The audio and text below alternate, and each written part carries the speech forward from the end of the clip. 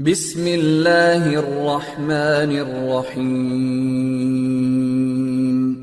رب زدني علما So NTP stands for Network Time Protocol.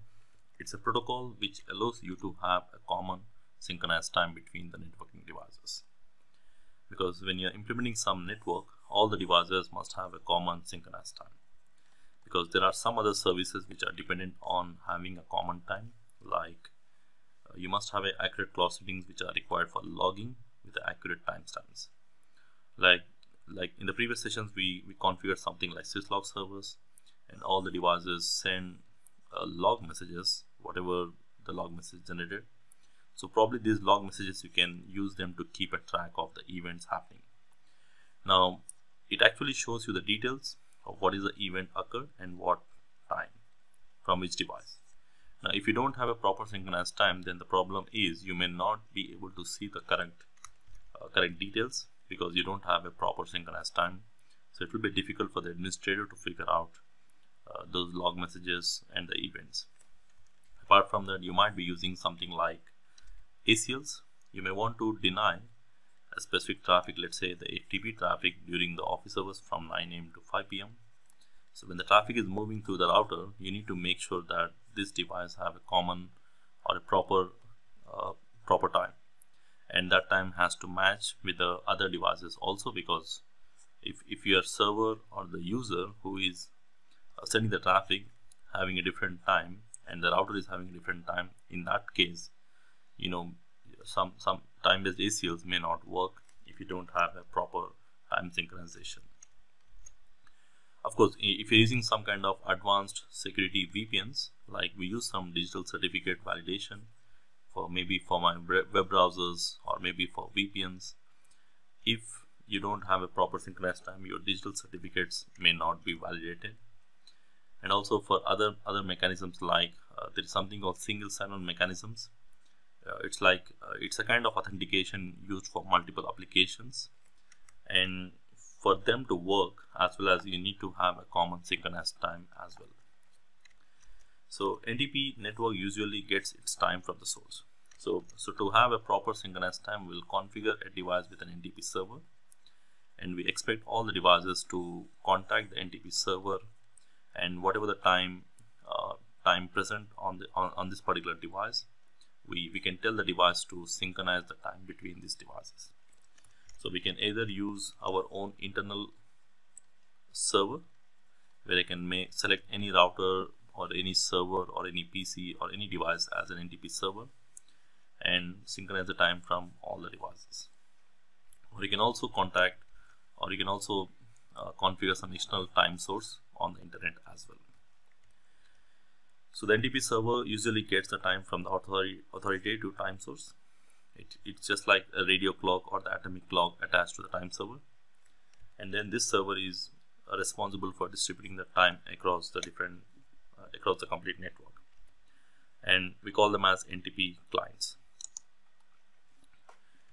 Now with NTP there is something called stratum value. Like now NTP server can be two types. Like the NTP server can be a server on the internet like we can configure a, a device our device to contact some external clocks on the internet. Now you'll find some external clocks on the internet like if you just go and search for some external clocks uh, NTP time servers. Servers probably you search with some keywords. You'll find some different time servers. Now you can configure your device to contact these external clock servers to synchronize the time. So it can be an external clock which always have a stratum value of 0 that is actually the hops in terms of RA, similar to RIP hop counts and we can configure my device. Let's say I have a router here and this is my NTP client. And this device is going to contact my external clock server and get the time synchronized. And then I can configure my internal devices. Let's say I got some other routers and and PCs other devices. So they will contact this server. And for all these users this is my NTP server. And these are my clients.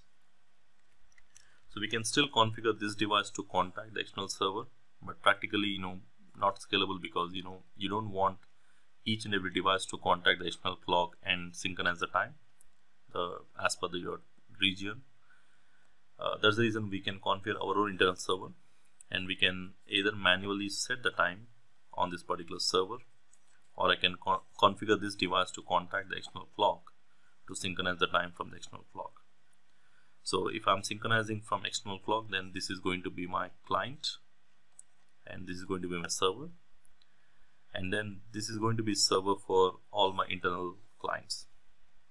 So, so by default uh, external clock will have a default stratum value of 0 that is the time server on the internet. Sorry.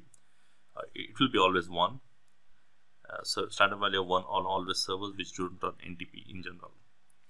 So we can configure a stratum value of 2 like like this server external clock. If it is sending a time to my server my, which is my client let's say. This is my client. Um, if I, if I configure if this stratum value is 1 here then it becomes 2 and it becomes a client for all the remaining devices. Now we got some other clients who are synchronizing the time from this device. And you can also configure this device to become a server for other clients. Now the stratum value will increment automatically. So stratum value actually tells how many hops your actual time source is away and the default stratum value will be one for all the servers which don't run NTP like the time servers on the internet and to whichever the device you, you, you give the time the next device will become 2 and this is my server. And we have other clients. And this may be the server for some other clients. It becomes 3 like that